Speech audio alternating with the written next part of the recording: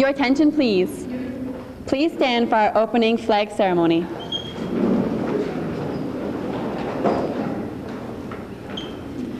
Color Guard, attention. Color Guard, advance.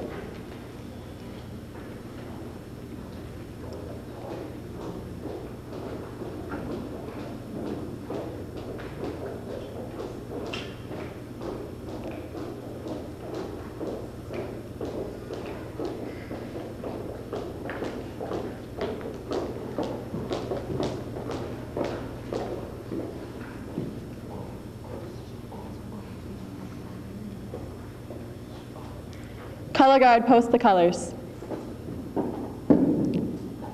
We will now say the Pledge of Allegiance.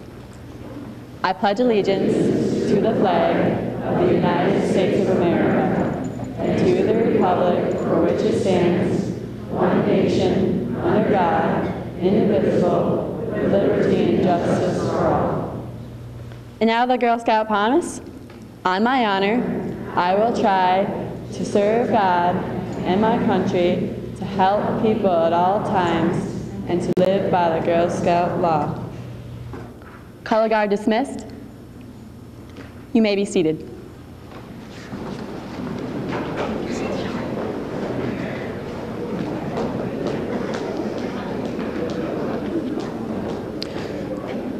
Welcome, everyone, to our annual awards honors reception. It's the finest night in Girl Scouts in Michigan Waterways Council.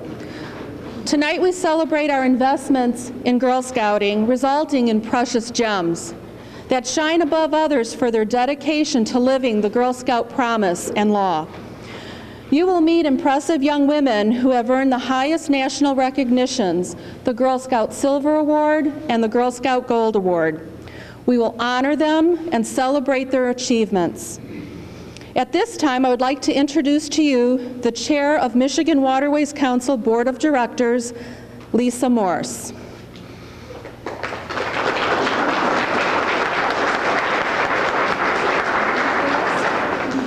Thank you, Jan. Welcome, everybody. I want to thank everybody for being here for this wonderful event that um, highlights the accomplishments of these young women, um, just shows you how important Girl Scouting can be. Um, I'm going to take this opportunity also to introduce um, special guests that we have here, and I believe we only have one, so hopefully some others will be coming, but um, Michigan State Representative from the 81st District, Phil Pavlov. Oh,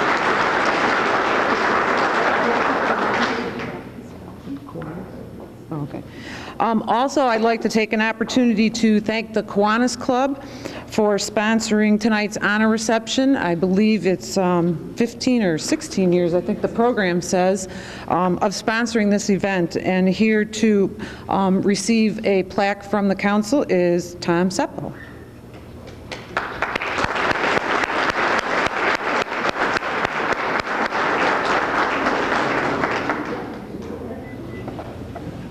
It's a joy and privilege to be able to do this, and on behalf of the Port Huron Kiwanis Club, we think the Girl Scouts are pretty fantastic.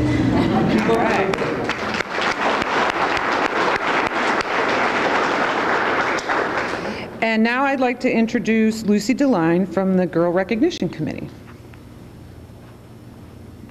Hello. The national standard of these awards are sustained at the council level by the Silver and Gold Recognition Committee. The committee meets to review applications, assign mentors, assess reports, conduct interviews, training workshops, and plans this honors reception. The committee is dedicated to support all girls and leaders working with the girls who desire to earn the Silver and Gold Awards. At this time, I'd just like to recognize them, if you can either stand or just wave. The silver chair is Maggie DeVinny. Liz Tollander. The gold chair is Jan Robert John. Becky Rubel. Kathy Cunningham. Dawn Kling. Louise DeJour. Jenny Street. Myself.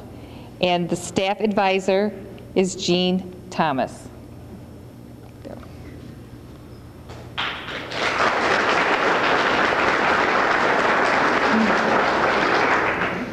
We have a special presentation of an American flag from the Women's Auxiliary VFW Post 8465. Danielle O'Mara will accept the flag on behalf of Girl Scouts Michigan Waterways Council.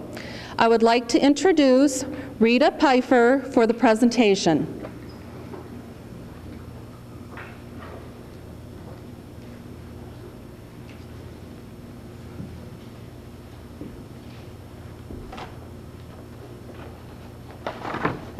On behalf of the May O'Brien VFW 8465, we proudly present this flag to the Girl Scouts. And here's a citation for flying your flag. You're welcome.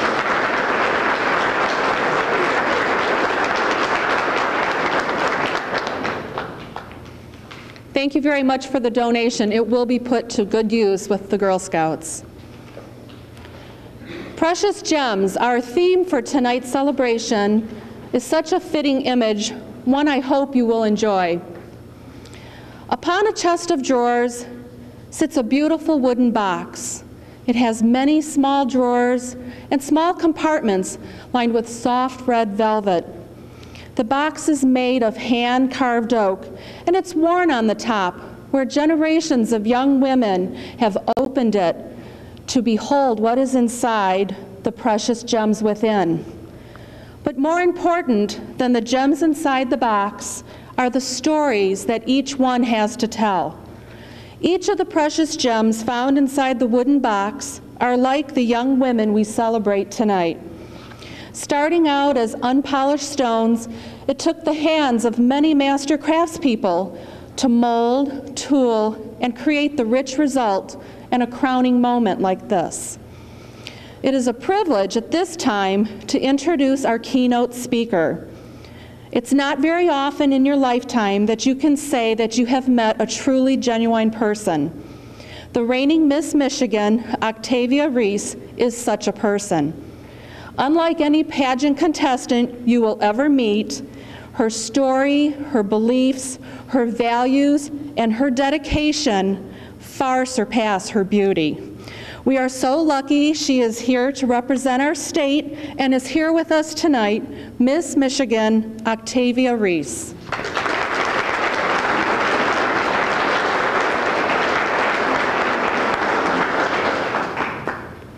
Thank you very much for that warm welcome. Now, first, can I just say that it is um, an honor and a privilege to be right here with you today. Um, the Michigan Waterways Council is a very special place in my heart from, I think, two years ago now when I was the um, program director at Camp Playfair and a counselor. And, um, and it was one of the most amazing years of my life, one of the most amazing summers. Um, I had just come back from France. I'd been living there for six months. And, um, and I think that as much as as much as this year has been a learning experience for me, I know that if I had not taken some life lessons from that camp and um, and the experiences uh, that I that I probably spent with some of your children there, um, that I know that I would not have been able to complete this year the way that I have. Um, now, I was crowned last June, so my year is coming quickly to a close. In June, I will be a former Miss Michigan already. Now, also, please excuse me if you can hear that I um, don't really sound like a normal person right now. I have a very bad cold, and I am also a big nerd. I'm allergic to pretty much everything, so it's allergy season, and um, yeah, that was that was wonderful. On my way here, I was stuck in traffic and stuck in construction traffic, and then my eye started itching, and I was scratching it, then I couldn't see, and so now this eye is a little bit swollen, and yeah, so I, I apologize for my appearance and for my voice. Um, also, I have one more disclaimer because since I am not totally myself today and I'm a little bit under the weather, of all the times when I have my crown with me and in the car and ready to put it on my head, the one day that I am actually going to use it as a teaching tool, where is it? Oh, in my apartment in Holland, Michigan. So I have um, my local crown from when I was Miss Wayne County. And so I called my mom on the way here. I said, Mom, you've got to get to Port Huron. You have to bring me that crown. I can't believe I forgot my crown. And so um, this will be a very special Mother's Day also for my mother because I'm 23 years old and she continues to bring me that lunchbox that I forget in the back seat. So even though she's not here yet, she will be coming, so hopefully you can see that crown. So instead of having the sparkles on my head, I tried to compensate by wearing the sparkliest earrings I could find in my car. So these are they. And, you know, significantly, I was going to talk about the four points of the crown, and these have four teardrops. So I will use these instead until the crown arrives. Um, now also, with that, also, can we, can we just take a moment to acknowledge the parents and the families that are supporting these young, young women? It is such a special thing to have parents um, supporting your children like this. It's just wonderful. Now, um, the four points of the Miss America crown. Most people don't understand that each one of those stones, each one of those gems, really is precious. Each one represents something in the Miss America organization. Now, it's kind of funny because I suppose it's their, um, I guess, formula for success. The four points are service, scholarship, style, and success. So maybe that means service plus scholarship plus style equals success, but, um, but that is what they live by. That is the Miss America motto, and that's a national thing. So even though it's my local crown that will be coming later this evening, it has four points. My Miss Michigan crown has four points. The Miss America crown has four points, and that is something that all the contestants understand. So those are kind of self-explanatory that um, that we have those concepts, those four S's. Now about the Miss America program, I actually got involved for the scholarship money. That's one of the S's. Um, because I have not come from a very wealthy background. So many people, when I have appearances, they say, Miss Michigan, do you live in a castle? Miss Michigan, do you have a chauffeur? Miss Michigan, do you ride around in a limo? No, Miss Michigan drives herself around in her white Ford Taurus, and Miss Michigan has been living with her mother until she went to college. I came from sort of very humble beginnings. Um, my mother always told us that, that education is the key to overcoming adversity. I'm going to say that again. Education is the key to overcoming adversity. Um, growing up, we lived in the city, in Detroit City. There are bars on my windows right now. There's actually a bullet hole in my front door right now that we uh, haven't had fixed yet. That was from a random drive-by um, over Labor, Labor Day weekend in September. So, um, so we came from that inner city where for holidays, instead of hearing fireworks and music playing, we would hear gunshots and have to hide out on the floor, watch TV from the floor, sit under the bed so that we wouldn't get hit by a stray bullet it was very difficult to not become a product of that society. It was very difficult to fight the system. But one of those ways that my mother encouraged my brother and I to do that was by education. So while she would struggle to afford private school education in the suburbs, a lot of times that money would then be taken away from things like our utilities. And I would do my homework by candlelight, and, um, and there would be times when we didn't even have enough, um, we didn't have our water running. This is kind of a funny story. Um, I remember this one winter, we had um, electricity, but we didn't have running water, and we had to go outside and fill pots with snow and melt the snow to wash up and get ready for school. Now, coming from that, my mother always said, that education is the key to overcoming adversity. Now, again, kind of fast forwarding, when I got involved in the Miss America program, it was pretty much for that scholarship money because I said, wow, college is over. Now I need to keep going to school because I don't want to have a job yet, really. I'm kind of afraid of being an adult. Just kidding. Um, and so I was so encouraged by, um, by what the program represents scholarship. Also, it represents service, one of the other four points of the crown. Now with that service, they have a requirement called the platform requirement. And I'm thinking, okay, what's a platform? Is this a platform? I'm standing on a platform. In the Miss America system, that platform is that social cause that one thing that you wish you could change about your environment, about your neighborhoods, your schools, your churches, your state, even your nation. Um, and so for me, I selected a platform called Building Bridges Through International Experiences. Now that's kind of a mouthful, um, but it was hard to choose that because there were so many young women who, um, who had these great you know, medical things like diabetes awareness, American Heart Association. And so for me, I said, I don't want this to be something that I make up for a pageant. I want this to be something that I really want to see change in my community. Excuse me. Now, a little bit about my background in international um, relations. I began learning French when I was three years old. Um, and my mother was a developmental psychologist, so she knew that the best time to teach anything, especially languages to children, is when they are very young. And so she would have language records and tapes that she would play for my brother and I when we were so little, and we were learning French, Spanish, and German. Okay, so we were saying goodnight in three different languages. My mom's thinking like, oh my gosh, what have I created here? These crazy children. But um, but languages have always been a very important part of my life. Now in high school. Um, even though we were struggling as much as we were, I was taking college classes, um, dually enrolled in high school and community college, taking advanced calculus and French classes. Now, it's kind of funny because I went to college for engineering, and then I studied abroad, and I decided, wait a minute, I am so in love with cultures, I'm so in love with languages, and after I returned from that experience, I changed my major to French and classical studies.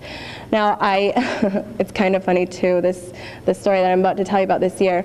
Um, my senior year of college last year, I was accepted to the University of Exeter in England, and I was really excited about that. And I said, Well, great, I can't wait to go over to England. And then I found out that I had received actually a Fulbright Fellowship, um, which is a complete full scholarship to live and study abroad. And so I received a Fulbright to assistant teach English in France for the following year. And then I said, well, who cares about Miss Michigan? I don't even need to win that. I just want to go to France, then I'm going to go to England. And so then I competed for Miss Michigan, and I won Miss Michigan. I said, oh my gosh, I can't believe that um, that I'm going to have to give up this Fulbright and for grad school. But um, but I knew that I had a purpose, and I had um, I had this platform issue statement that I wanted to to promote around the state. And so I have been spending the past year encouraging people to step outside of their box of normalcy, to experience something that's culturally different, um, and also with young children to encourage them to learn about other cultures through foreign language study and studying abroad. Another way that I felt was very important to help people really, not just to learn about, but really experience cultures was through traveling abroad, through studying abroad, and through missions work. It was one of my goals with my platform, with Miss Michigan that I would take a group of Miss Michigan contestants to an orphanage in Jamaica. And actually last week, this is right before I got sick, I think my body just said enough and shut down. But, um, but last week we spent three days in Jamaica working with all these precious little children. Um, and it was, it was sort of a dream come true for me.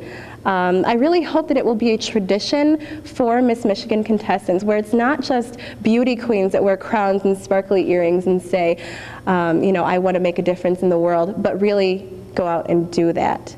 Um, so that's the service part of the Miss Michigan, Miss America motto. Service, scholarship. Now style, I mean, I really don't need to explain that. That's just uh, the pomp and circumstance, I think, of the whole thing, the pageantry, the, um, the evening gowns, the swimsuits, the casual wear, everything that just sparkles and shines and gives parents heart attacks when they see how much those things cost. Um, and then success. The Miss America program really does promote success in young women. It promotes higher education, it promotes community service, it promotes all of those things and more. And it reminds me of another organization, Girl Scouts of America. Now, during my time as Miss Michigan, I, I adopted four different points of my own. And those are faith, hope, love, and charity.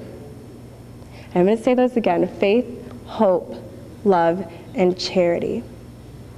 And it's funny because I'm a classics major, right? I was a French and classical studies double major, graduate of Hope College. I also play the cello, that was my minor. So, studying classics, right? We've got Thomas Aquinas and we've got St. Augustine, studying all those people.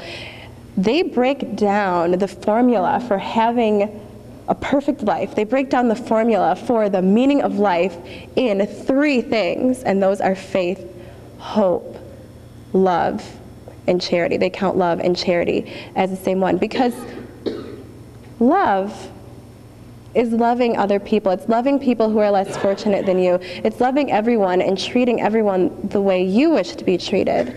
And so that's how charity and love are thought of as one.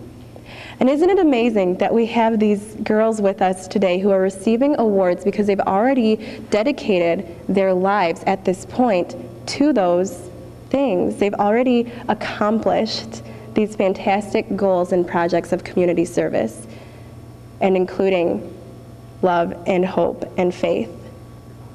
Now, for me, growing up, faith and hope were pretty much synonymous. I just had to have that belief in something that I couldn't see. I couldn't see myself going to college because I couldn't afford it. I couldn't see myself really getting out of the inner city of Detroit because it was all around us. It was hard to, um, to know that we were really going to make it out of there. And so we had faith and we had hope that things would get better. We had faith and we had hope that education really was what my mom said it was. We had faith and we had hope that we would really be able to reach out into our communities and make a difference. Now, one of the most influential things that I've been able to, um, to uh, connect with during my year as Miss Michigan is that um, they encourage every young woman who has a platform to become um, affiliated with a nonprofit organization. And so for me, because education was so important to me, um, I partnered with Education Freedom Fund, who was started by Betsy and Dick DeVos out of Grand Rapids. And I don't know if you've heard of it yet, but it is a fantastic program. And that is, um, it provides scholarship money to low-income families in failing school districts to attend a school of their choice. Now, I, you, you get Channel 4 out here, don't you, WDIV? Okay, Chuck Gaidica is the chairperson for the east side of the state. And um, and oh, what's her name? I can't remember. Terri Terri DeBoer. She's a weather girl on the on the west side of the state, and she's a chairperson for that side.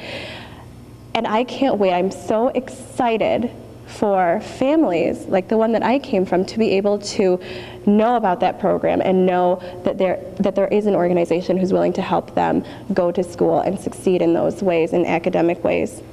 Now, the other organization that I have partnered with is UNICEF, and that was all about my platform, all about international experiences, all about really caring for children around the world who have been forgotten because of because they're in societies that are that are failing, that are struggling.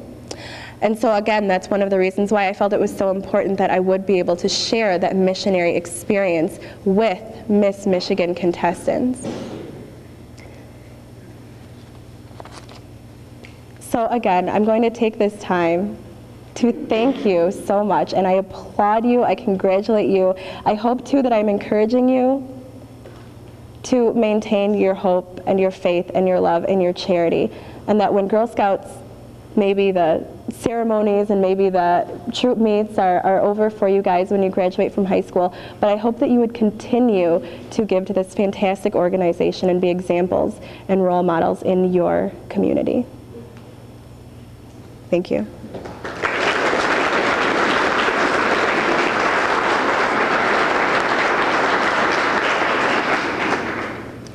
Thank you, Octavia. You are an inspiration and a real jewel to our Michigan Waterways Council. She has participated in so many program events and has been so out front with the girls. They all love her so much. We were really, really lucky she drove across the state to be with us tonight. Thank you. Um, this year, um, there are girls who've reached a significant, significant event in their Girl Scout career. That is 10 years of membership. And Dawn Kling will present this honor.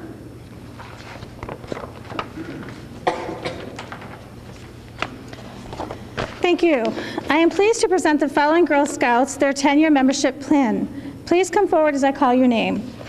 Fortunately, we have just three, so if I don't call your name and you're here, um, as of check-in, please let me know, and we'll make sure we call you up.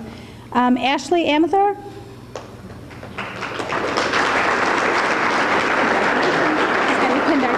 One right down there.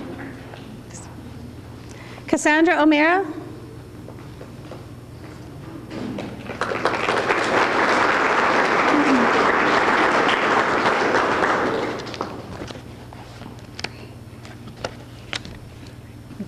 Congratulations. She's And Julie Fox.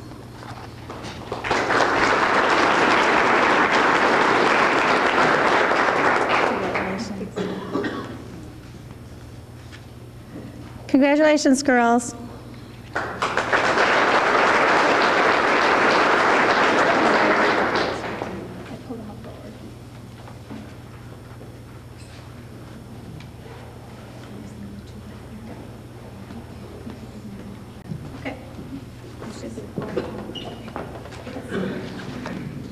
Michigan Waterways, Girl Scouts Michigan Waterways Council is privileged to have community support to provide graduating senior Girl Scouts with scholarship opportunities.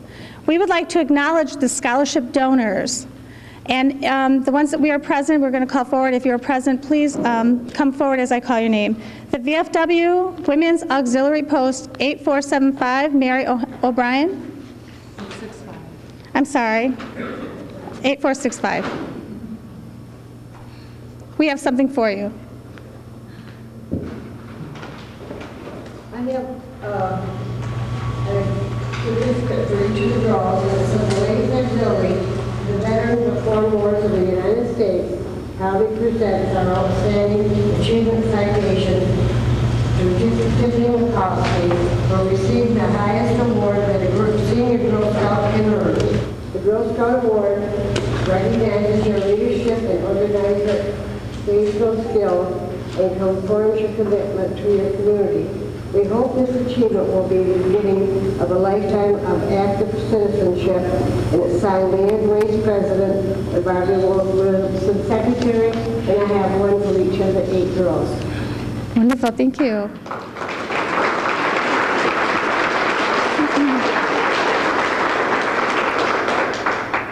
Business and Professional Women's Club of Port Huron.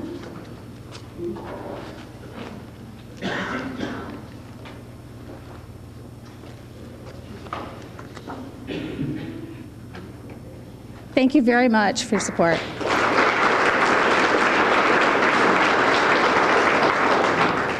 League of Catholic Women from Marine City.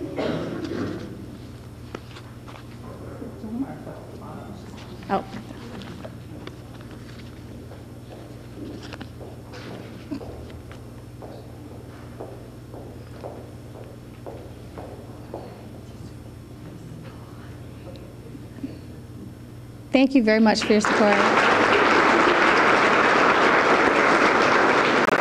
Also, St. Clair Community College for their support.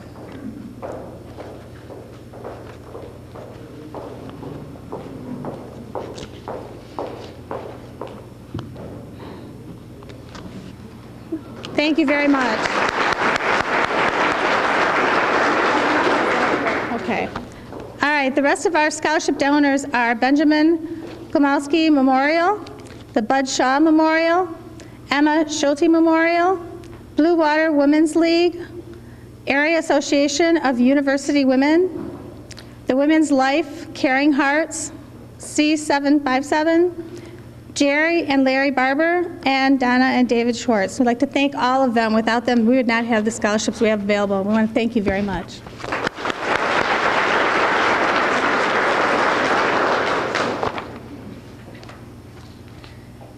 This time, I'd like to introduce Becky Rubel of our Recognition Committee, and she is going to be presenting our scholarships.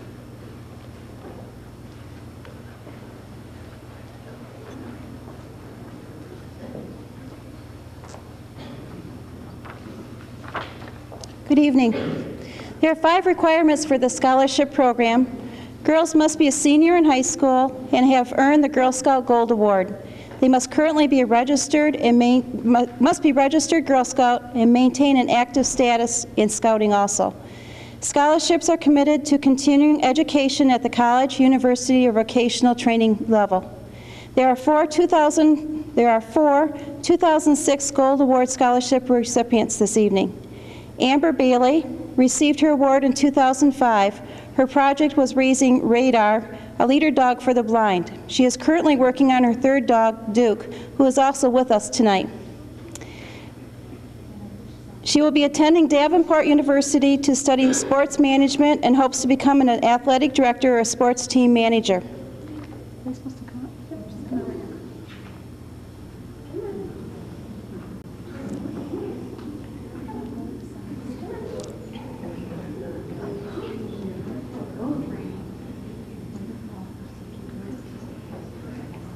Our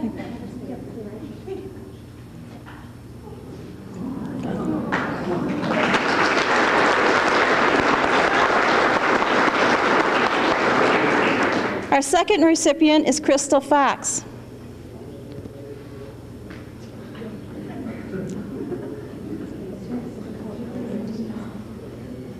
Crystal is a 2005 gold recipient. Her project was called Babe. She, she decorated and painted the maternity ward at Port Huron Hospital. She collected items to be provided to diverse mothers in need and gave special presentations to teen mothers and single parents. She will be attending St. Clair County Community College and transfer to Grace Bible College for a degree in early education.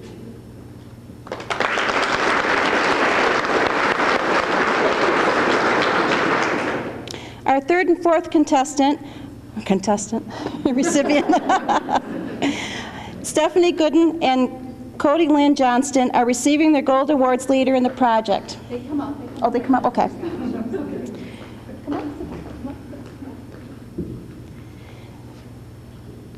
Later in our program, you will hear the details of their projects and their college plans. Congratulations, ladies, and good luck.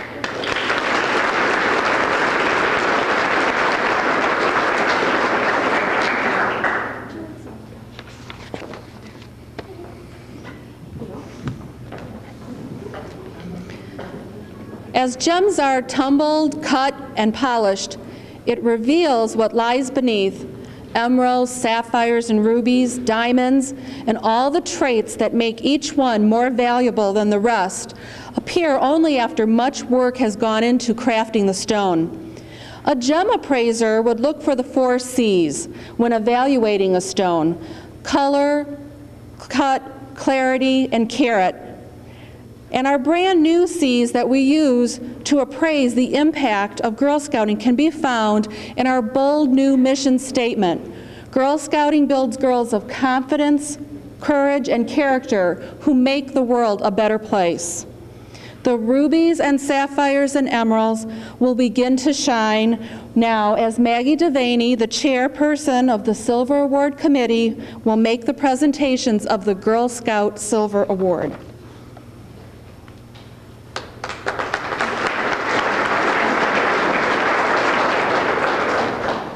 Good evening, ladies and gentlemen, and our special guests, and especially our very valued award recipients.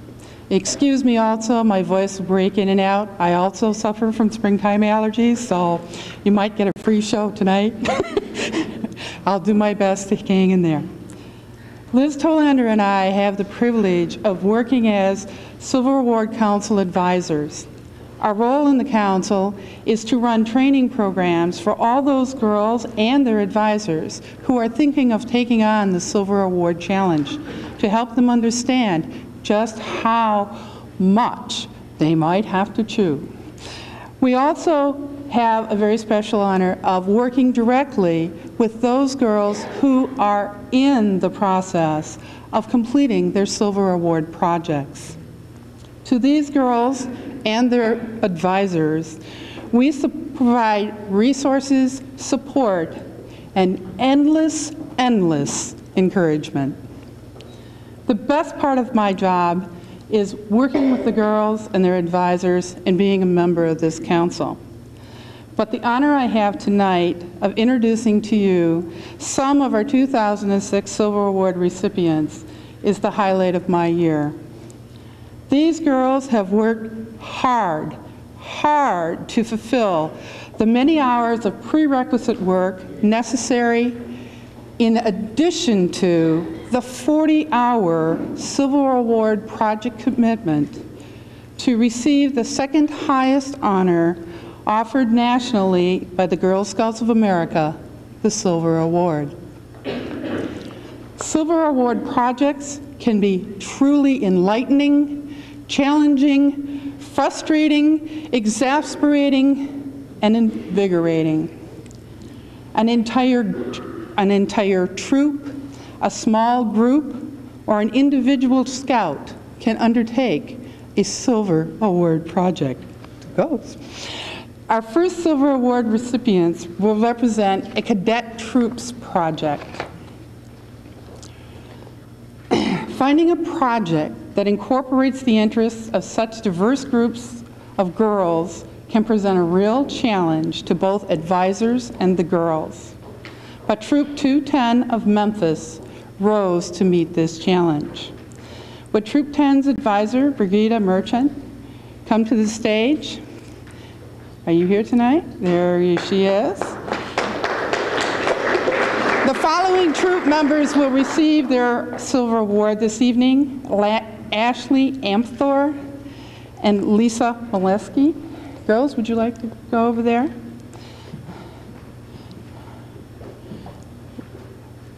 And the direction set.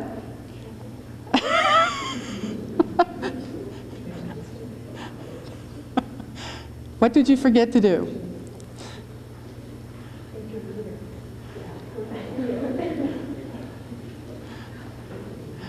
All right, when you get done, then go back and shake the gentleman's hands. Stay there.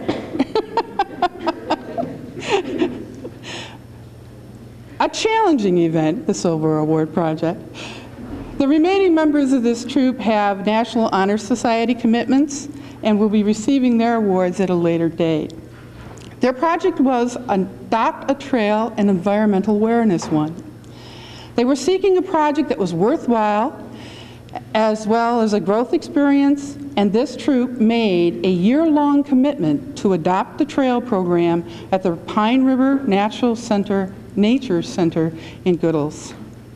Working with Lisa Appel, the operations coordinator for the Nat- Natural Center, Nature Center, told you it's going to be a good show. They made the commitment to become trail stewards to the Hillside Trail. Their duties included relining the trail with logs, picking up litter, removing invasive species, learning to identify plants, animals, insects, and trees. They developed a logbook recording the different environmental impacts of the changing seasons upon the trail and discussed ways that they might improve it. They improved the trail by installing posts that they used to mark the different types of trees and plants along it. They also installed two benches made from recycled logs to provide seating along the trail. Additionally, several of the girls volunteered their time to the Summer Nature Program run by the center, where they helped with workshops such as What Lives in the Stream, Insects Mania, and live animal presentations. They also helped with night hikes, scavenger hunts, cross-country skiing clinics, that proved to be a challenge this year, and designed posters showing endangered animals and how we can all help save them for the Earth Day presentation. In February, this group of very industrious young ladies expanded their project. They completely organized two workshops for brownies to fulfill all the requirements necessary to earn the Triad for Animal, the Animal Triad, or their Eco Explorer Triad. The most successful part of their project was learning that everyone can be responsible in their own way for overcoming a problem. By working together and strengthening their leadership skills, they were able to demonstrate and share the information necessary to help all of us take care of our environment. They are proud of the fact that as cadet scouts, they serve as role models for the brownies they worked with. And they look back on their contribution to the Hillside Trail improvements as something that everyone can now enjoy. Troop 10, thank you.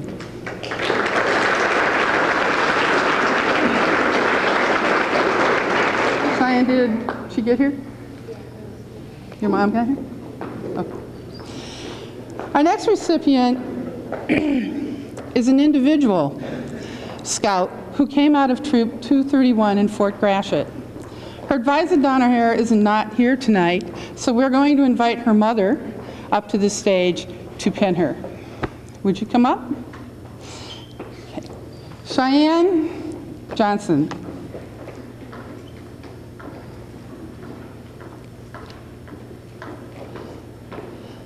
Cheyenne's project is My Guy and I Dance.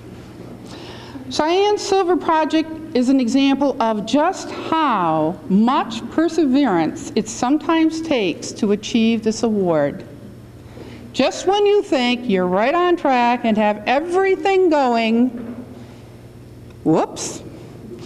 Her original dance plans were to take place within her community church, but a leaking roof and unscheduled maintenance at her church center made her cancel the event.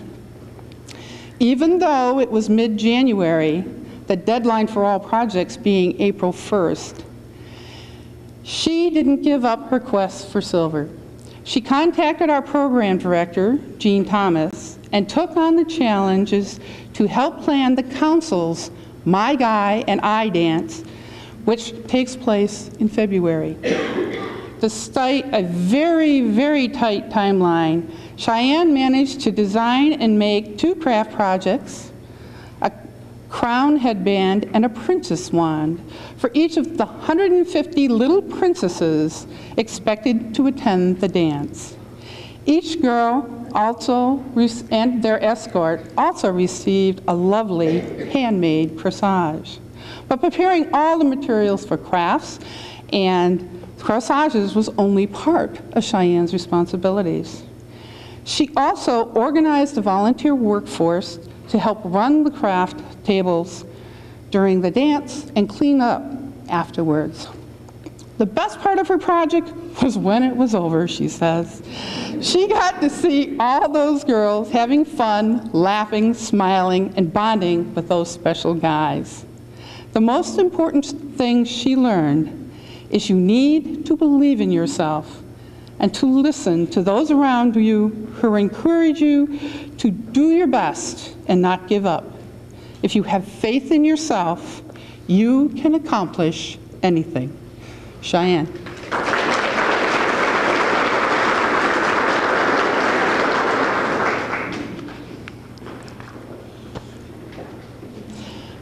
Our next scout is from Troop 18. Her advisor is Emily Wallace. Would you come to the stage, Emily? Our Silver Award recipient is Elizabeth Wallace. Elizabeth Wallace is a go-getter. Her project was to organize and run an after-school math tutoring program at Fort Gratiot Middle School. But she quickly learned that organizing and launching such a program was no easy task, especially for a single scout. But she wanted her project to be something she felt strongly about, which used her math skills and helped people develop the skills they would need to manage their money in the future. Undaunted by the challenge, and with the help of the Junior National Honor Society supervisor, her principal, and vice principal, she created a rough outline and then working with the administrators, helped fine-tune that project so it met both the requirements for the school and the Girl Scout standards. She recruited seven eighth graders from the school's advanced math class to help assist her in tutoring, and her mom, her aunt, and her godmother volunteered to act as supervisors for her program. Her program was set up to meet twice a week after school and was open to 6th through 8th graders who needed help with their math skills. After she developed an advertising campaign using flyers and posters and school announcements to promote the tutoring, she was ready to launch her program last fall. But Elizabeth discovered sometimes, even when you do everything according to plan and by the rules, things just don't work out the way you planned. Just before she opened her program, her school, the school was assigned a new principal. She had to stop, take her project back for reapproval before she could start.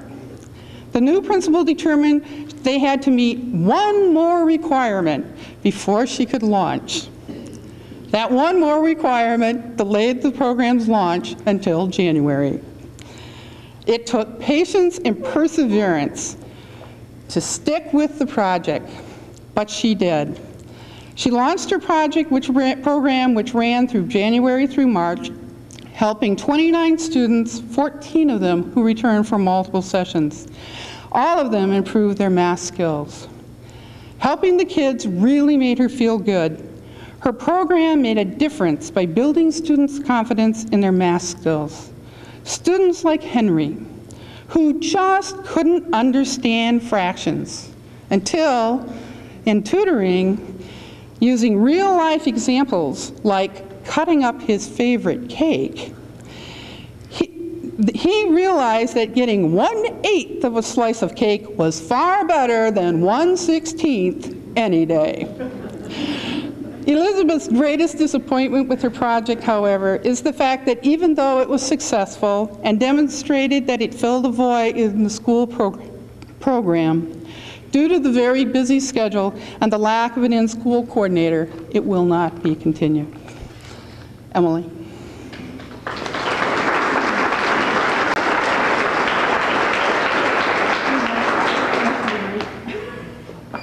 Excuse me.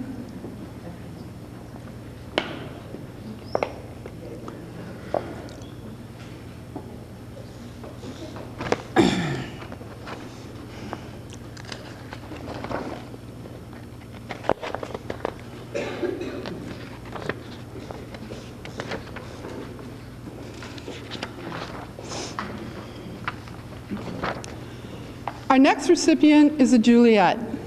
A Juliette in Girl Scouting is a scout who does not belong to a designated troop. They are associated in Girl Scouting through the council, and the council serves as their advisors. Tonight we have one such Juliette receiving their silver award, and this is no easy task. Tonight's award recipient is Julie Fox. Julie is going to be pinned tonight by Miss Michigan.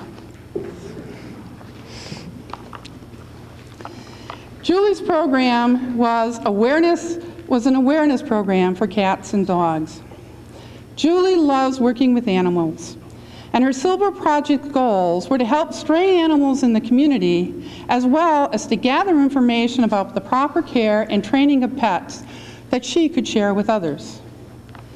After gathering what information she could find from books and the internet, she decided she needed more and chose an unusual avenue to acquire it.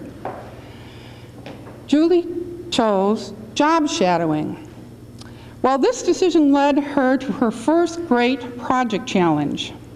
How do you get people to take your projects seriously due to your age? She had to work on her communication skills and design a well-organized plan to overcome that problem. But her plan covered several areas. First, she worked in a vet with a vet at his clinic. There she learned the proper ways to medicate, the importance of vaccines, and the, and the procedures for putting down a pet if necessary. Then she job shadowed the owner of a kennel and learned firsthand just how much work is involved in caring for a pet on a daily basis. Her next experience was to work with a pet groomer who taught her the importance of proper bathing and trimming of an animal's toenails. And finally, she visited an obedience training ranch to learn the basic, basics of obedience training, the most important part of which is you must be kind and respect an animal if they are to respect and listen to you. Julie then arranged to share all the information and knowledge she had gathered by working with a Brownie Troop to teach them the importance of proper care, first aid, grooming, and obedience training for their pets. But Julie went one step farther. Wanting to expand her project to do something to help stray animals in the community, she visited the Humane Society. There, she donated her time, organized a food and supply drive to collect goods for them to use, and also launched a Need a Friend poster campaign to promote pet adoption. Julie learned one person can make a big difference in people's and animals' lives. The most successful part of her project was adopting her new dog, Snickers, from the Humane Society.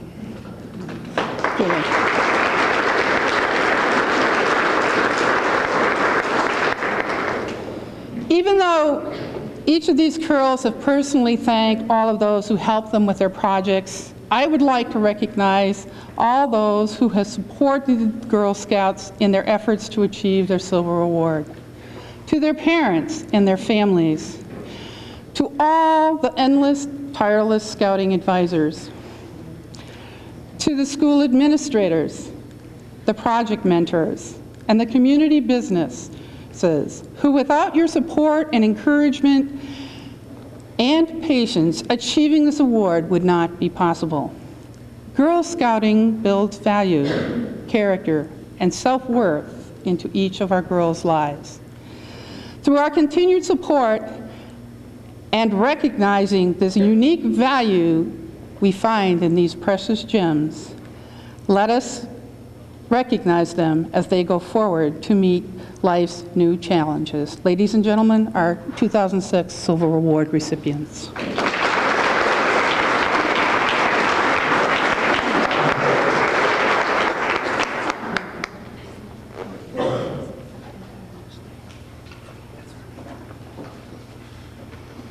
When translating the Girl Scout Gold Award to the precious world of gems, it must be equal to the diamond, a symbol of love and commitment. Gold Award candidates have displayed their love of Girl Scouting through their membership and their commitment through earning the Girl Scout Gold Award. They make the world a better place by discovering a sense of self. They envision and prepare to take challenges while earning interest project patches. They lead while earning silver and gold leadership pins by identifying issues and imagining the solutions. Finally, they take action through community service and their Gold Award projects. They advocate for others and for issues for which they have a passion. Girl Scouting, like the master craftsperson, has empowered them to make a difference. Less than 1% of Girl Scouts nationwide will ever earn the Girl Scout Award in any given year. In our small council, we always far exceed that national average. We have eight young ladies who will receive their Girl Scout Gold Awards this evening, and it's time to present them to you. In honor of their achievements, each girl will receive letters of congratulations and proclamations or certificates from the following. And we can't hold them all up, but I know all of you are here tonight because of one special Girl Scout Gold Award, so make sure you ask to see all her certificates before she leaves. This is the list of the following accolades they will receive. It will be, like I said, a letter, a certificate, or a proclamation from GSUSA CEO Kathleen Cloninger.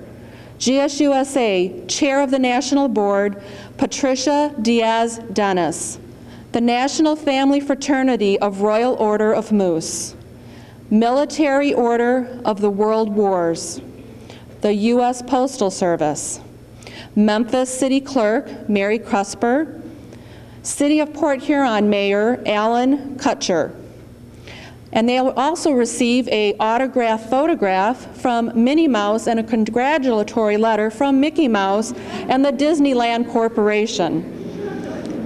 A letter of congratulations from the Hershey Company and from U.S. Representative Candice Miller, from the Department of Education, the U.S. Department of Energy, the U.S. Department of Justice, the FBI, the U.S. Department of the Army Chief of Staff, State Representative John Espinoza, State Representative Dan Acciavatti, U.S. Representative Phil Pavlov, U.S. Senator Carl Levin, U.S. Senator Debbie Stabenow, Michigan Governor Jennifer Granholm, former President Jimmy Carter, the White House, George and Laura Bush. So as you can see, they're going to have a mountainous display at their graduation parties when everyone can see how the world took notice on this special night and special day in their lives. At this time, we have a few of our um, audience members who would like to get, stand up and give a few words on behalf of who they are representing here tonight. And first, I'd like to call forth Grace from the BF, BFW. Mrs. Grace? Mm-hmm. Oh, you read your certificate before, didn't you? Okay. Well, at this time, I'd like to call Representative Phil Pavlov come up.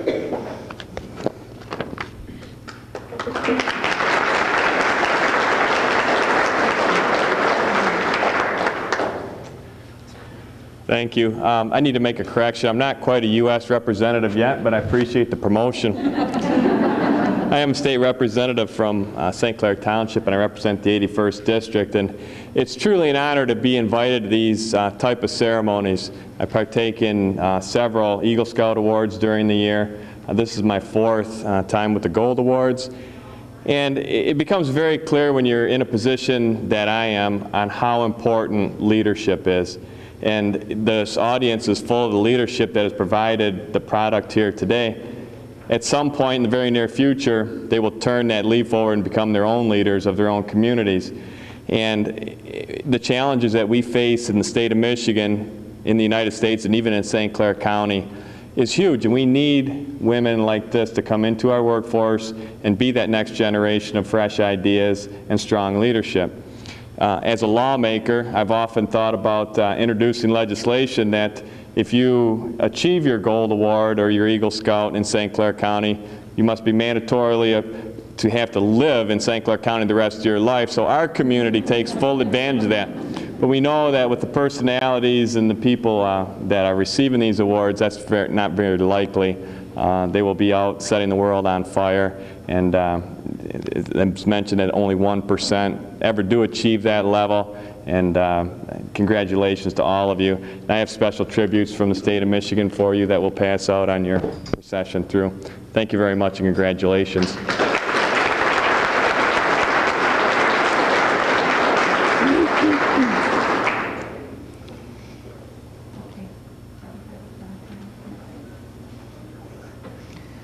We begin this evening's Gold Award presentations with Jessica Bark.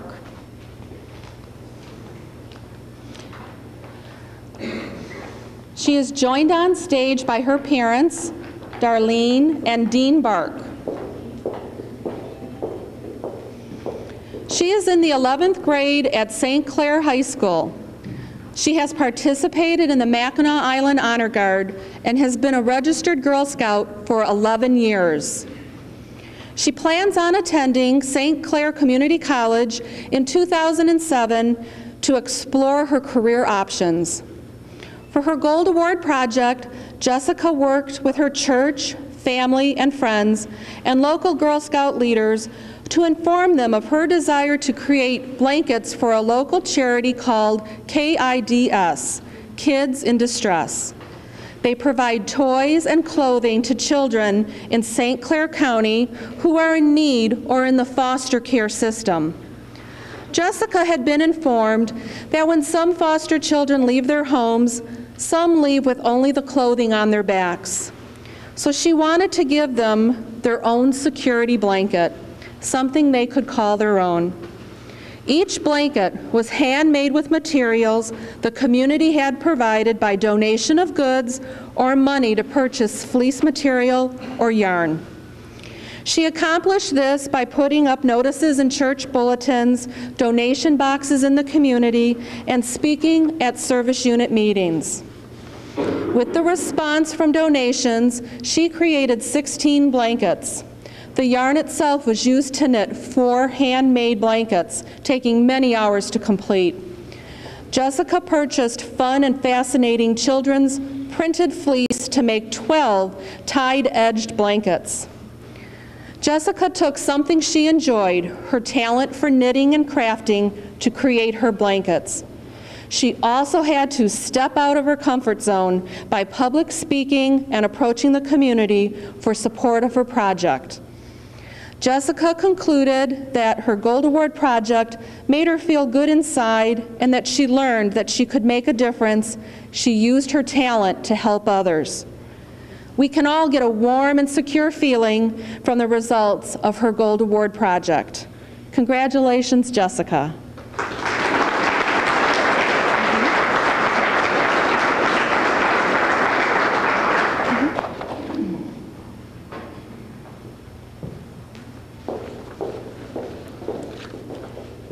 Doing my Gold Award has made me learn a lot about myself. One thing that I learned was that I can step out my box and do things I normally would not do.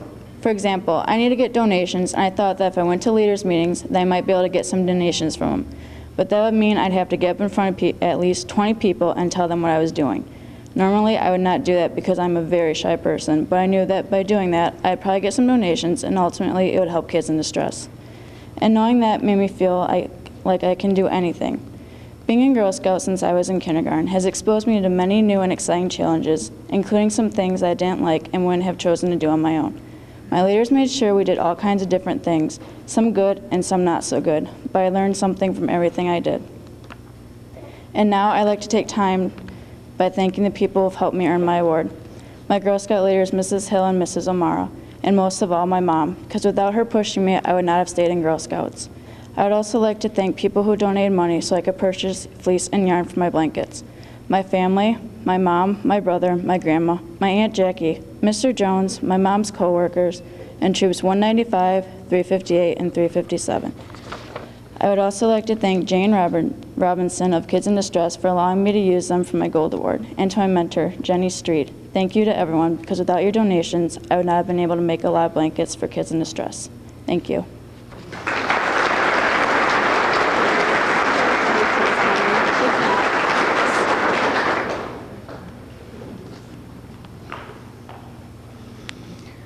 Melinda Lee will now be honored. She is joined on stage by her parents, Kim and Harvey Lee. She is an 11th grader at Algonac High School. Her troop advisor is Jan Coleman, and she has been a Girl Scout for 11 years. Melinda worked on the Rural Street Project for Habitat for Humanity 2005. What started as a coordination project soon turned into a project of self-discovery. Melinda worked with two other Gold Award recipients on the Women's Build in Port Huron. Over 25 hours were spent calling, scheduling, and organizing hundreds of volunteers over a five-month period. She helped to create a database and did periodic mass mailings. The next phase was working on site, where she helped workers sign in and directed them to work locations. She also swung a hammer, dug trenches, and many other hands-on duties. Working on site included all types of weather conditions. There was almost a blizzard the day Melinda herself was in charge of food for the volunteers. When the food was hot and ready to feed over 150 people, she learned the volunteer workers had been sent home because of the dangerous freezing temperatures. Beside that setback, she logged over 110 hours working at the Habitat site. Blitz Week included volunteers from all over Michigan, the United States, and as far away as Central America. It was assumed the, the Gold Award Scouts would continue to coordinate the on-site sign-in of these 100 more volunteers. And of course, that's exactly what they did. Melissa, Melinda also helped to provide water to all the workers during Blitz Week, as well as assisted the staff by directing volunteers to supplies and tools. Her support and knowledge was a valuable asset during Blitz Week. In her Gold Award report, Melinda reflected on the impact this venture has had on her personal development. I didn't think people would look at me as an adult and actually take me seriously, she said. It really made me see that if you act like an adult and you really want to get something done, you can do it. She also stated, it was such a wonderful feeling being a part of such a big project. I know I was only one little person in a worldwide organization, but I feel like I made a difference. It showed me the things people can achieve when they all work together. In just one season, the Whirl Street Project created 10 new homes. And I'd like to inform you right now, Whirl Street is located just off of Water Street, about two, three blocks east of this Girl Scout Center, and it might be worth your time just to drive by and see the wonderful result of the Habitat for Humanity project. Melinda is currently working on her cosmetology certification and plans to attend the Complexions Institute in Toronto to further her career. She is active with her Girl Scout troop and has been a part of the Mackinac Island Honor Guard and plans to continue to work with Habitat for Humanity for the rest of her life. We congratulate you, Melinda, on this achievement. And I now would like to invite to the stage Barb Ernstberger, a representative for, from Habitat for Humanity.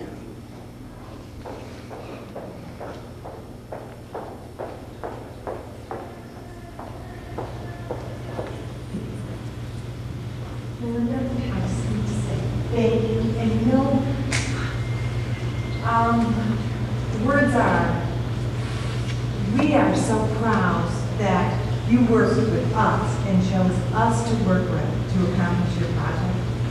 And you're the leaders of tomorrow. You kids are wonderful.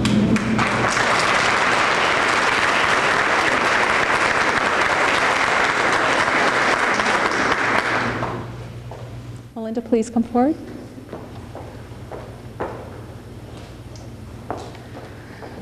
Hello. Um, I just want to thank everybody for being with me while I'm doing this project. I thank my mom and dad the most for taking me there before I could drive every day and getting me all the places I need to go. And I thank Ellen Radigan extremely much. If it wasn't for her, I wouldn't be in this program right now, working with Habitat for Humanity. And working with all these different people from all over the place was the most awesome experience I've had in my life. Working with people from 70 years old and swinging hammers with them and putting up siding on houses was something I never thought I'd be able to do. And I think um, all the people in my life, like my um, neighbors Ray, LaParle, and Jerry, um, they've made me the person I am today, being able to talk to them and tell them things. Um, mm, I just thank you very much for letting me have this experience, and I'll be with Habitat for Humanity the rest of my life. Being able to work with them was a wonderful experience. Thank you.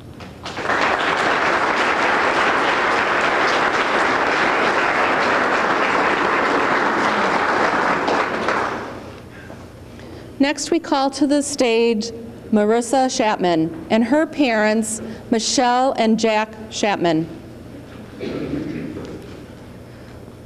Marissa has been a Girl Scout for 12 years and is a junior at Memphis High School. She is a member of her high school National Honor Society and Student Council. She is a Sunday school teacher and plays AYSO soccer. Her Girl Scout leader is Mrs. Terry Horton.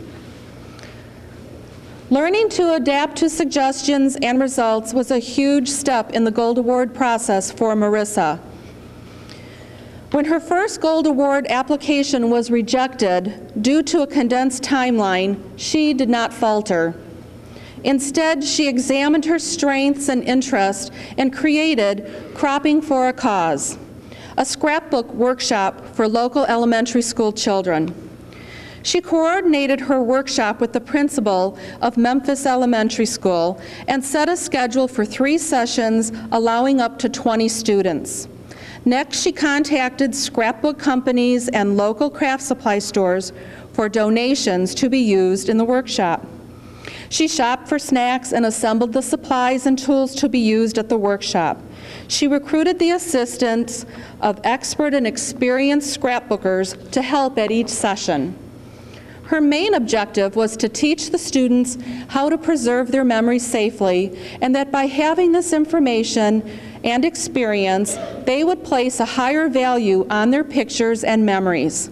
She stated in her Gold Award report, This project made the students think about how important the little moments in their lives can be when it's captured by a picture. And that the improvement that I saw in the short time that we were together was wonderful. And watching them come up with new ideas was really rewarding since I introduced this to them.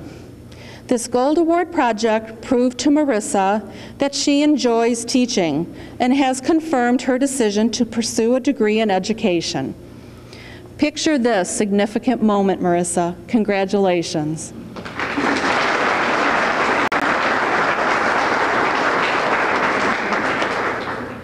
Thank you.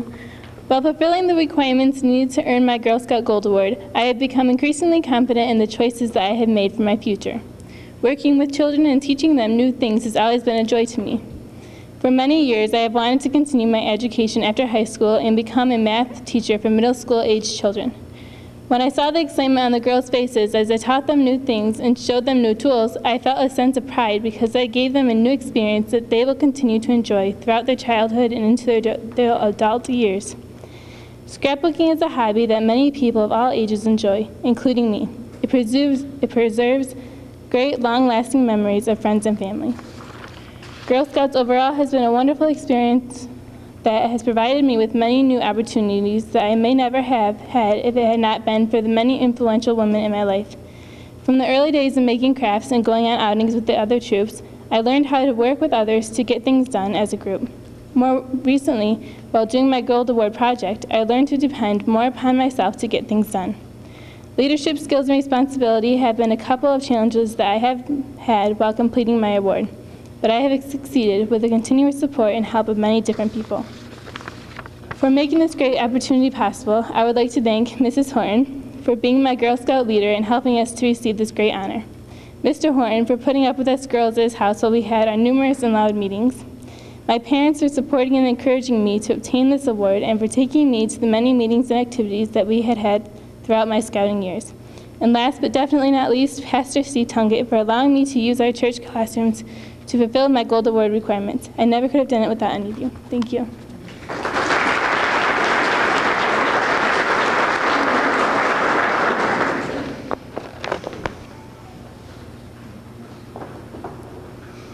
Stephanie Gooden will now be presented her Girl Scout Gold Award. She is joined on stage by her mother, Elaine, and her sister, Tanya. Stephanie has been a Girl Scout for eight years. She is a senior at Algonac High School, where she is on the Powder Puff football team and is the manager of the varsity volleyball team. She works with DJ Entertainment and is a third degree black belt. Appropriately, Stephanie's Gold Award project was called Shielding Women from Harm a one-day event that taught young girls self-defense techniques that they could use to use to get away from an intruder or an attacker. She did a detailed internet investigation about crimes against women and organizations with information she could share. She received permission from the National Coalition Against Domestic Violence to use their database and reproduce reports for her to distribute at her workshop. She coordinated the use of her high school for the location, advertised to the female student body about her workshop, planned for refreshments, and assembled information packets. Stephanie's dramatically charged workshop resulted in a very emotional Gold Award report. She stated, because you took the time to prepare and organize one evening, that could change the rest of someone's life. She continues, that's what Girl Scouting is all about, making a difference in someone's life.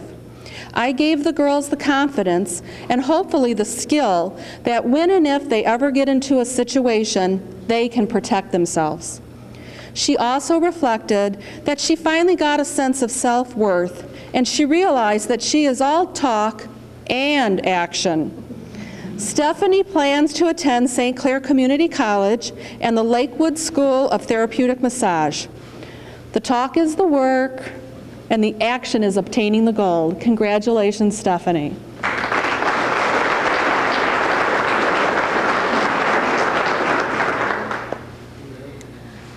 wow, if this is as big as honor as, you know, I'll ever obtain in Girl Scouts, I'm in trouble for graduation day.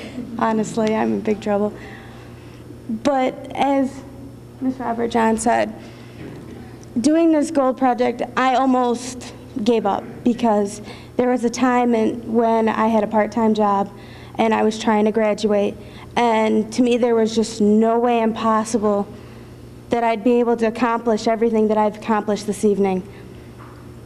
And I think the biggest thing for my own gold project and what I've learned my own self is that when you can make a difference in somebody and give them the ability to see tomorrow and let them be their own thing, their own person, and let them, you know, sunshine on the world, that is the most greatest gift you can ever give anybody, is to let them be their own person.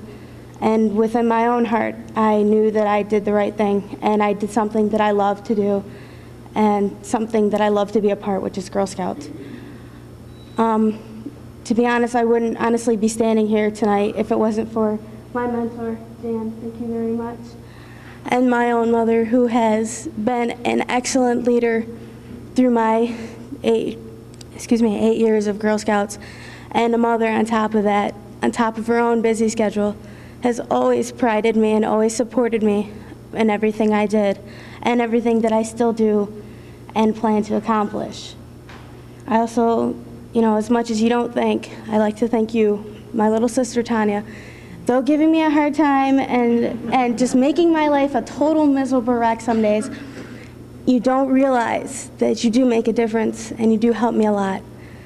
And to my other family and to my very best friend, thank you so much for your support and helping me in everything I did and giving me that extra kick that I always needed when I needed it or was down and out and never thought I could accomplish anything.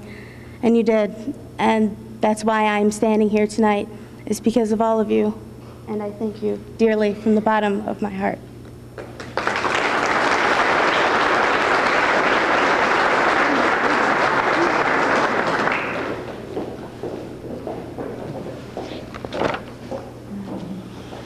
Danielle O'Mara will now come forward to receive her Girl Scout Gold Award. She is joined on stage by her parents, Kathleen and Paul O'Mara.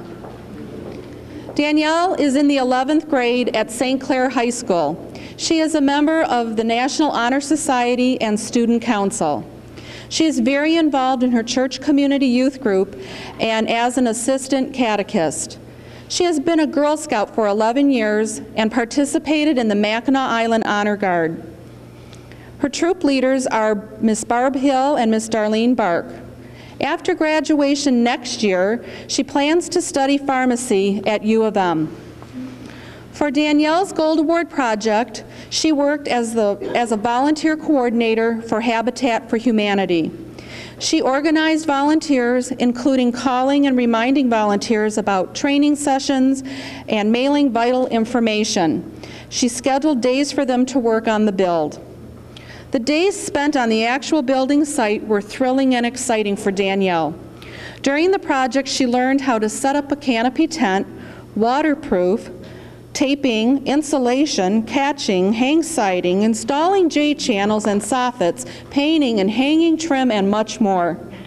She spent over 140 time-logged hours on her Gold Award project.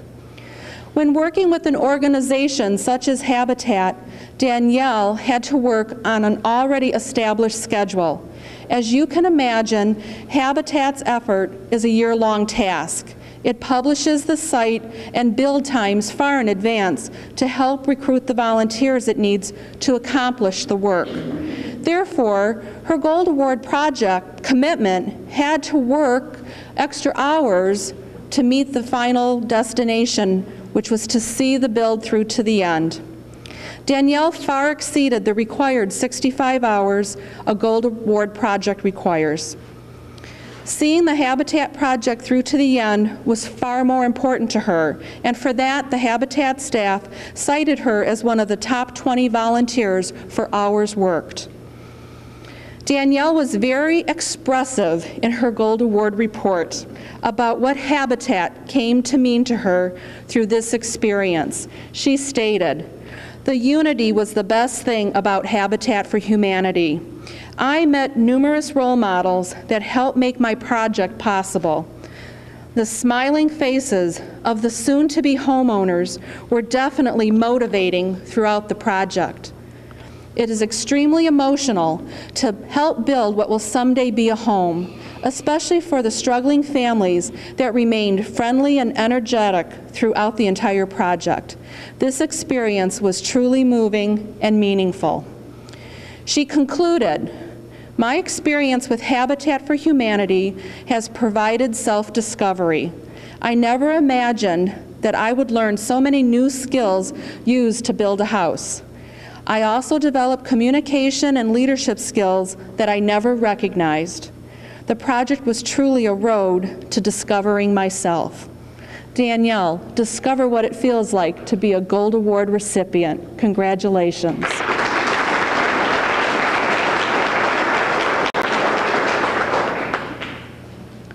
Wow, it's hard to follow up the emotion that was felt, especially in the last speech. I was about to cry. It's amazing. Okay. Well, I received a notice from Ellen Radigan, who sits in the back, an awesome woman, I must say, who also became my awesome, awesome project mentor that I really did need, which described that the council was looking for girls interested in getting their Gold Award working with the nonprofit organization Habitat for Humanity. Since I was nearly finished with the preparatory requirements and had no prior ideas for my project, I gladly accepted. The first couple meetings in February and March of 2005 were simply organizing volunteers for the All Women's Build, in which Melinda Lee, Caitlin Ballou, Ellen, and I worked together to accomplish. Melinda and Caitlin were also working towards their Gold Award. Both of these awesome young women brought something special to the project. The Women's Build was one of the 10 houses being built along Rural Street in Port Huron to benefit struggling local families. Organizing volunteers included calling and reminding volunteers about training sessions, mailing vital information, and scheduling days for them to work on the build. The days spent on the site proved to be more thrilling and exciting. Melinda, Caitlin, Ellen, and, uh, and I arrived at the site before the volunteers so that we would have time to set up the sign-in table. Sign-in started at 8 as more and more eager volunteers gathered to help out, requiring volunteer forms to be filled out and making duct tape name tags also became routine with every Saturday. It was slightly different during Blitz Week, June 20th to June 24th last year, in which hundreds of people from all over the country and a group from a sister city in Guatemala came together to accomplish one goal, to create homes for desperate families.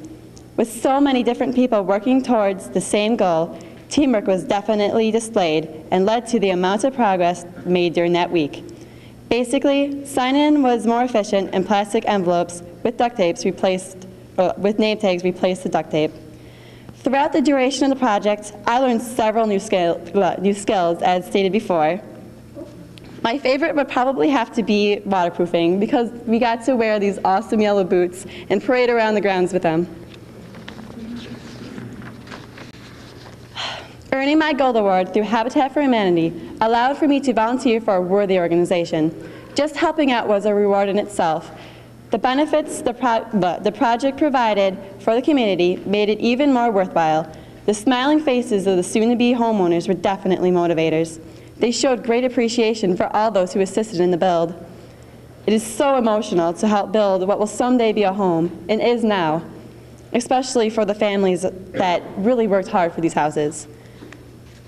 My Gold Award project had an impact on the community as well as family and friends. However, I think it had the biggest impact on me. I've de developed so many relationships with Melinda and Ellen and Caitlin. They all offered so much support. Also, the homeowners themselves were just amazing people, and they just, they always had smiles, and it was amazing and just motivating. And the unity was the best of it all. Starting every day on the site, holding hands and praying was emotional, meaning so many different people were like, it was so exhilarating. And I really need to thank so many people for this, this awesome project. This includes Ellen Radigan, Jim Faulkner, who's the executive director of Habitat for Humanity, Catherine Walton, who was the volunteer coordinator, Jim Wire, construct- uh, construction and site manager, Barbara Ernsmeyer, church relations manager, and all other Habitat staff members, as well as Melinda Lee, Mrs. Lee, Caitlin Ballou, and then, of course, Mrs. Hill and Mrs. Bark, my troop leaders. And then my ah, Gold Committee mentor, Lucy Devine, and of course, my parents. Thank you so much. I am so honored to have this, this opportunity to just express how much, how much it meant. Thank you very much. Stay right here, stay right here. Stay right here. We want to call Barb back to the stage from Habitat for Humanity. I gotta tell you, Habitat volunteers always amaze me. Do they amaze you now? Oh, definitely. But see, you're a Habitat volunteer, so you're even more amazing. And this is what I gave Melinda to, a gold hammer to go with the gold award.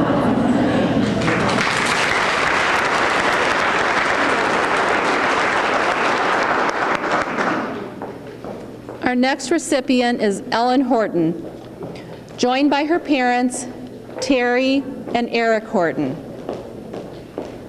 Just you? Can you please help hold all her supplies then, because the dad's not here? Ellen is an 11th grader at Memphis High School, where she is involved in the National Honor Society and Drama Club. She has been a Girl Scout for 11 years, and her mother is also her Girl Scout leader. A passion for history and the desire to preserve her small town heritage was the reason Ellen chose to put together a historical portfolio of the homes in Memphis, Michigan. She decided a long time ago that her future was in the past, and she wanted to do all she could so the information about the town's historical houses would be preserved so others could appreciate them. Upon starting her project, she realized there was not as much information about her town's historical homes as she had thought. She made a presentation to the Historical Society, asking them for contacts and perhaps a donation to fund her project. This launched the process of setting up appointments, interviews, photographing, and writing reports. Interviews included meeting and speaking to family members who were related to the original homeowners. She was also given the opportunity to tour a home currently uninhabited, yet it remained filled with the family's heirlooms and treasures. All the families she worked with were eager to provide information and share old photographs. The next phase of her project was creating the portfolio, scanning pictures, creating Word documents to transfer to a publishing program. When the initial transfer of information did not work, she had to start, of course, over again from the beginning. But learning from the past also meant perseverance for Ellen. And after three attempts, she finally had her product. The results of over 100 hours of research, editing, and publishing is a magnificent portfolio of the historical homes in Memphis. It is really quite impressive, considering nothing like this ever existed before Ellen's Gold Award project. In her final report, Ellen reflected, my project benefited future generations by giving them information that may have not been recorded. She hopes that the work she has started will continue until all the historical homes in her small hometown will be cataloged in a final portfolio that the Historical Society might choose to continue in the future. Ellen foresees her future will still lie in the past as she hopes to study history or art history as a college major. Ellen, this is truly a historical day in your life. Congratulations for earning the Girl Scout Gold Award.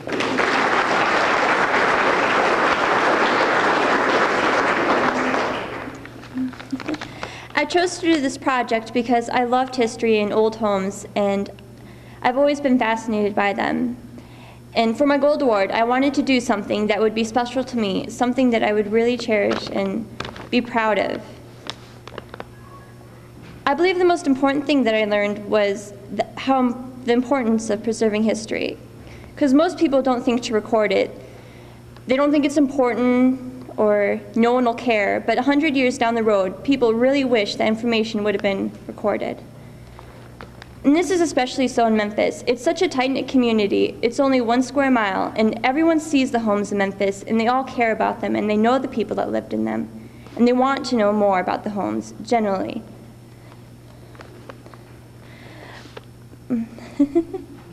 My favorite part was getting to look inside the old homes and getting to see all the heirlooms and photographs and everything like that. And doing this project was a great opportunity for me. It definitely helped me communicate with others better. I'm a really shy person, and it's hard for me to talk to people that I do not know. Through doing this project, I believe that I gained a little bit more confidence and I have realized that I can talk to people. When I graduate, I want to be an historian, so this project was a perfect opportunity for me to reach out towards this dream.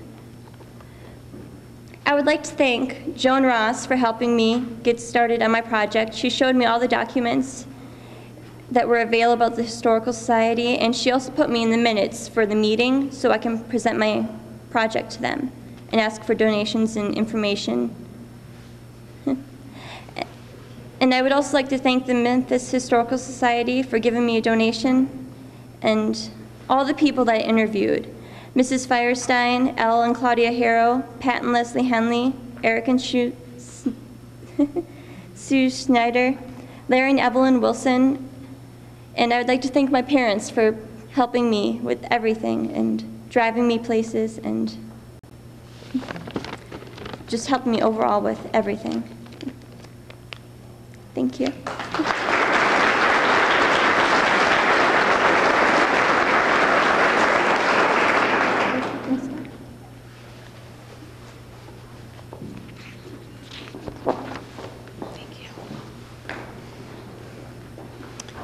Tiffany Makowski will now be presented with the Girl Scout Gold Award.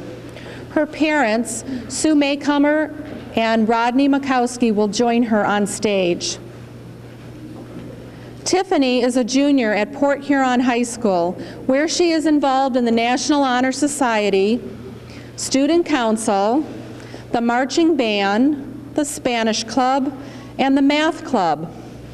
She is also a, a varsity soccer player. She has been a Girl Scout for 11 years, and her leader is Ann Geeky. Her future career plans include a four-year degree and then a pursuit of a medical degree from Michigan State University. Tiffany's Gold Award project helped young, struggling readers become strong, independent readers. The planning and implementation of her after-school reading enhancement program entailed over 70 hours to complete.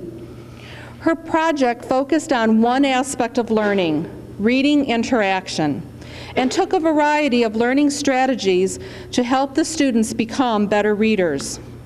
The student participants received instruction with facilitators on a very close basis. She had recruited 10 adults and student volunteers to help with the program. Over 50 students in the third, fourth, fifth, and sixth grade at Kimball Elementary School participated in twice weekly sessions for six hours, for six weeks, two hours each day. Tiffany worked closely with the school principal and staff in the design and desired outcome of her project. The program was held twice to accommodate all grade levels. A total of 48 hours were spent in instructional format, with a multiple effect equaling 480 hours of individual instruction. Tiffany also had to meet with the teachers for book selection, student needs, and specialized aid. Evaluations took place each week, and as students progressed, they were moved to different groups the following week. She had frequent meetings with advisors over new reading strategies, what was working, not working, and how much progress was taking place, and what they could do to be more successful. The benefit of such a detailed and dedicated project was summarized by the teachers' assessments, that all the participants had become better students because of the influence of Tiffany's program.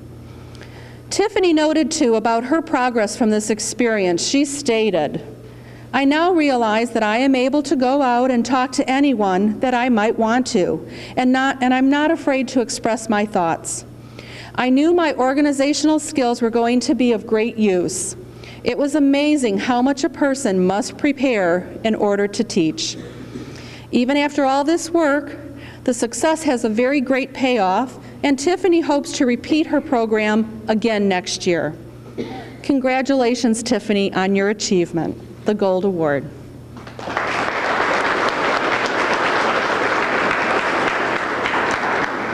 Thank you. Uh, when I started this project, I had no idea what I wanted to do. And through Ann Gigi and um, Jan Robert John, I realized I love reading. And when I go to school and I see people that are like, oh, I hate reading, I don't want to do it ever, it just, it broke my heart. And I realized that that started at the elementary level. Like they didn't get all the help that they needed at an elementary level. So since they couldn't do it well, they never really liked it. So I figured, well, why don't I help with that? So I worked with Mrs. Hernandez real close an awful lot, and I thank her tremendously for everything she's done. I couldn't have done it without you. And um, I want to help or thank all the students and all the teachers and parents and everyone that participated. I, it was amazing to see how much people were willing to help out with my project, and the students were wonderful. They were always coming in with smiling faces and talking to me and expressing how their day went, and it was wonderful. And I really got a close relationship with a few of them. It was nice. And I really want to thank my mom, because I know there was a few days I came home I'm really frustrated because we'd work on the same thing for an hour and get almost nowhere. And I was ready to quit, but she always pushed me. And I thank her for that and for putting up with everything. And just thank, I want to thank everyone for putting up with all the troubles and hard work and everything I've done, and I really appreciate it. Thank you.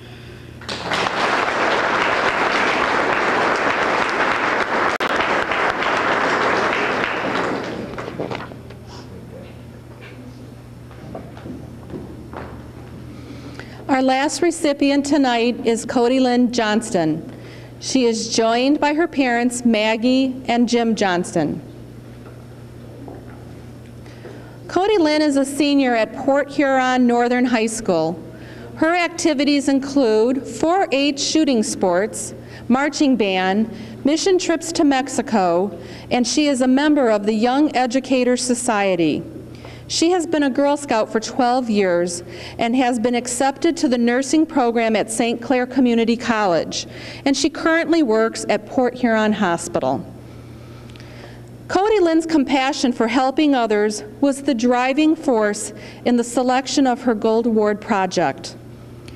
After learning of a close family friend's loss of a stillborn, Cody Lynn wanted to help. She realized that during this sad time, she wanted to give these parents a keepsake they will cherish and perhaps will help make things a bit easier.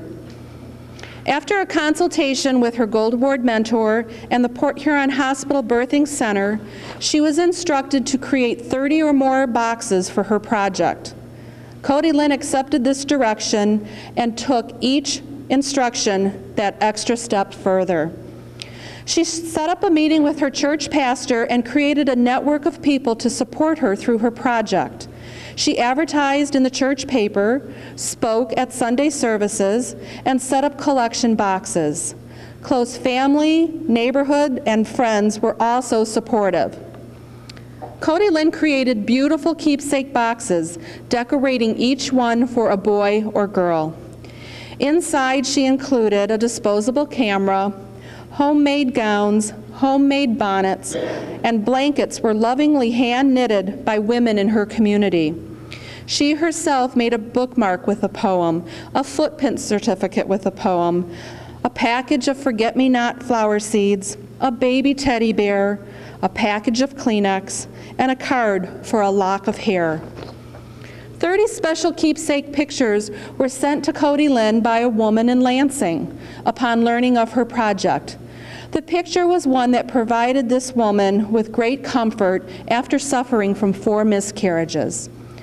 To promote her project, and in the hopes of more community support, Cody Lynn contacted the Times Herald, and they chose to do a feature, feature article on her project. This was then picked up by the Lansing State Journal, thus the Lansing Connection, and the ever-expanding scope of her project. Another Lansing area reader also supported Cody Lynn by sending a letter stating, Young parents need all those things you are packing in the memory boxes. She enclosed a small check to help defray some of the cost. Cody Lynn reflected the benefits of her project in her final report. My project has provided a keepsake for the families that will not be taking their baby home with them.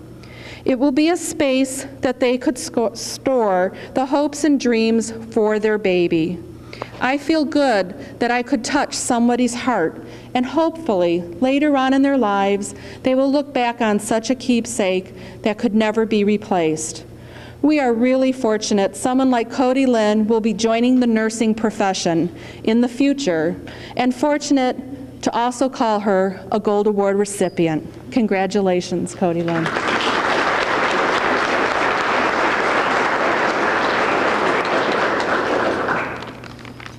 I've always wanted to go into the healthcare medical um, field, so I decided to do something with that, and I finally came across of doing something like I want to do something like with babies, but they always have like stuff for like um,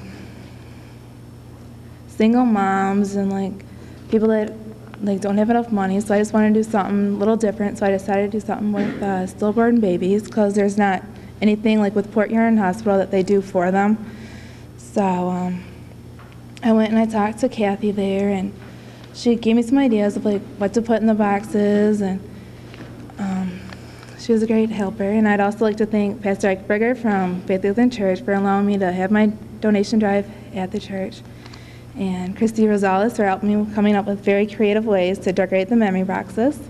Kay Lakin for sewing some of the outfits and bonnets, and Chris Brown for also teaching me how to sew and make some of the outfits also and uh, my grandma Joyce for uh, crocheting 30 of the baby blankets, and then Aaron Krozenak for putting my article in the Times Herald.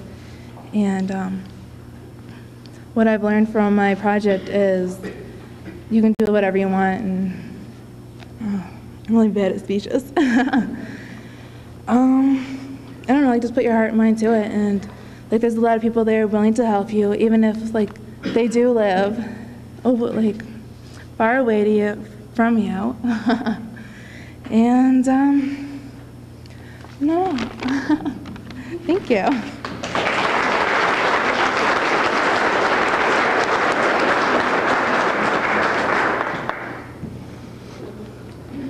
Getting up here and speaking at the microphone is something that we ask of all of our Gold Award recipients.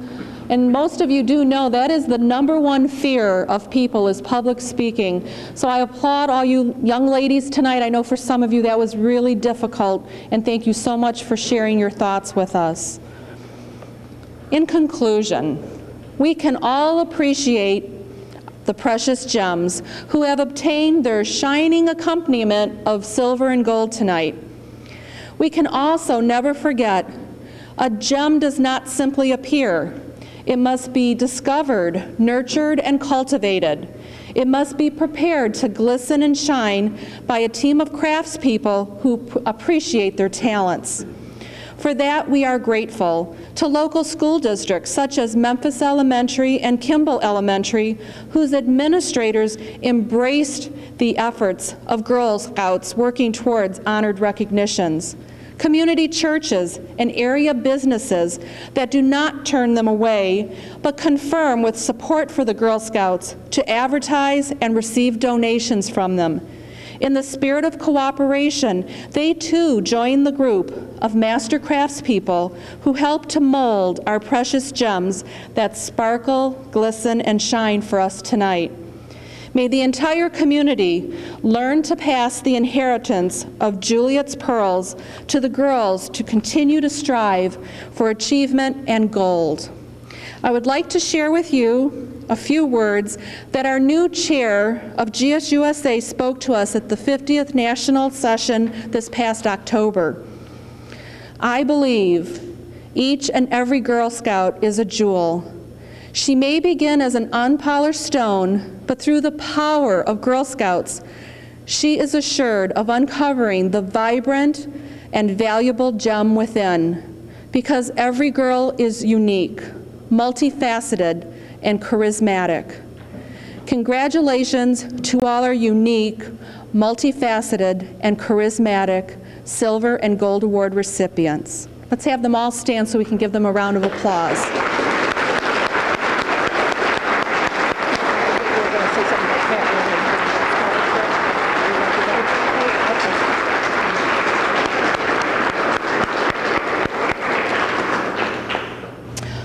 Um, Before this night is over, we invite you to view the Silver Award displays on the table over here. And in the showcase, right outside the room before you entered, are the Gold Award um, projects that you can view. The girls have done a great job with their displays this year. Refreshments have been prepared for your enjoyment. Family, friends, and Girl Scouts, our flags will remain on stage as a sign of honor during the reception and for photographs. And at this time, I would like to thank you all for attending, and one last, good night, Scouts.